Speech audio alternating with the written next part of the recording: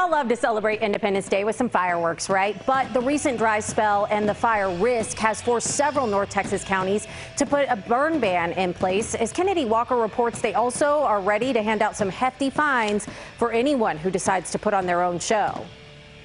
Devin Fansler will not be popping fireworks this 4th of July. I would hate to say that we wanted to go out and pop some fireworks and I killed my neighbor by accident because I burned their house down. So it, it wouldn't be worth it for me. He lives in one of four counties that's under a disaster declaration. The lack of rain has led to severe drought conditions. It's a really tough time. Fireworks are banned in Parker, Johnson, Navarro, and Palo Pinto. You can still buy them at local stands, but the penalty of shooting fireworks in restricted areas is steep ranging from 500 to $1,000. Parker County is filled with tons of areas like this that are covered in grass. And as you can see, the weather has caused the grass and the ground to be so dry that it wouldn't take much for a fire to ignite.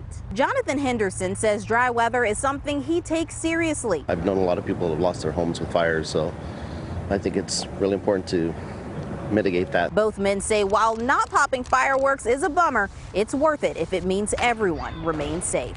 It's fun to look at and it's cool and all that, but it's not worth life. The Texas A&M Forest Service is reporting about 75% of our state is under a burn ban, but fireworks are still allowed in unincorporated areas. In Parker County, Kennedy Walker, CBS 11 News.